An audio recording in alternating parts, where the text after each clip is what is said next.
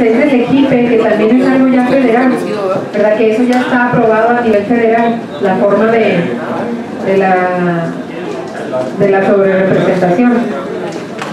Este, nosotros proponemos que nada más se, se armoniza, o sea que eh, el artículo 15 y 16 del EQIPE pasen y se, con sus modificaciones adecuadas, ¿verdad?